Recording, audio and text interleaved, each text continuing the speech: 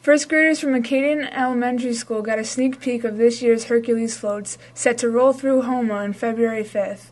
We've been here for 26 years. King this year is King Dwayne Baudouin. Guys that see around here, members of the crew of Hercules, they're here to help us today. We appreciate you coming, okay? After learning about how to stay safe during Mardi Gras, the children were allowed to throw beads and dance with umbrellas.